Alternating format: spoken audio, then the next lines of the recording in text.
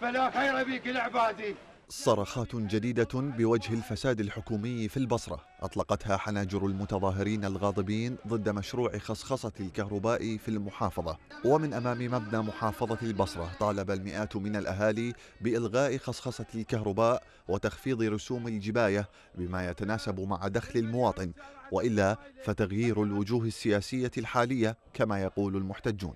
خرجت أهالي محافظة البصرة بتظاهرة احتجاجية على مشروع خصخصة الكهرباء الذي للأسف لم يسوق بطريقة صحيحة.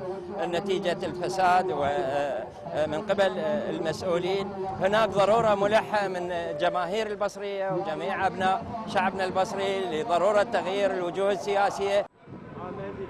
مشروع خصخصة الكهرباء يعني جباية أكبر للأموال وهو ما يرفضه ذوو الدخل المحدود والمتقاعدون وهم يمثلون الشريحة الأكبر من مواطني البصرة. 40 سنة أنا خدمت البلد يعطونا 400 400 هال 400 هاي أعطيها للكهرباء؟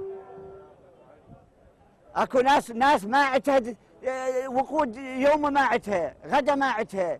يجيبوا لها الكهرباء. أبواب الفساد.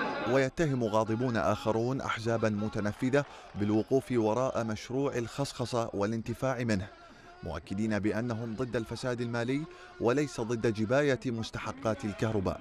هناك كتل سياسية منتفعة من هذا الموضوع موضوع الخصخصة والاستثمار الكهرباء بشكل مباشر.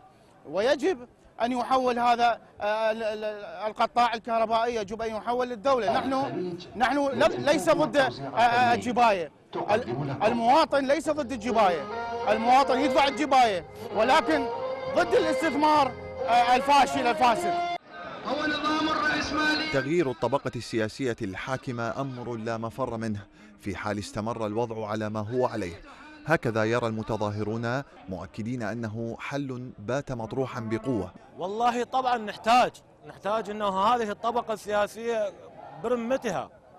لأن بصراحة شعوري أنا كمواطن عراقي وشعور المواطنين الآخرين أيضا أنه هذه الطبقة السياسية فاسدة. بما إن الدولة البصرة شهدت قبل أيام تظاهرات مماثلة احتجاجا على تنفيذ مشروع الخصخصة حيث قام بعض المواطنين الغاضبين حينها بطرد مدير توزيع الكهرباء رافضين المشروع برمته.